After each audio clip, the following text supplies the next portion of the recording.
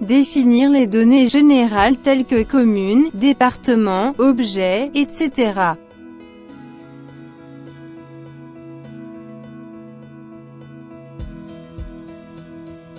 Définir ou modifier les catégories.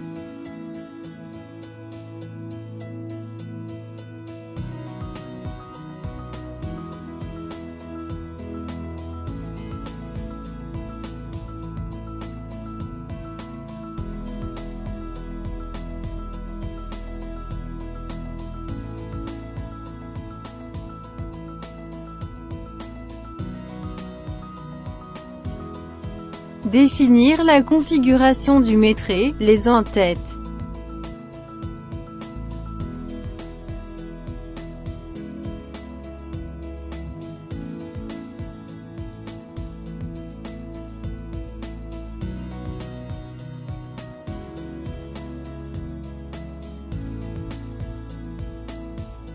et les signatures.